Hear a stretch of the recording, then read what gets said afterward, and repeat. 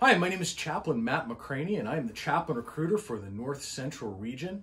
Uh, this coming Thursday, on the 8th of April, we will be visiting the Southern Baptist Theological Seminary uh, to talk with students about the potential of serving in the United States military as chaplains.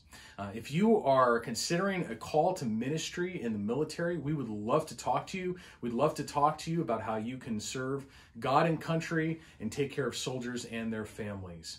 Uh, if you are interested in meeting us with us while we are there, we will be hanging out in the Bevin Center. Uh, you can also text me on my cell phone, which is 571 228 9089 or contact the Bevin Center and they will tell you how to get in contact with us. We look forward to seeing you there.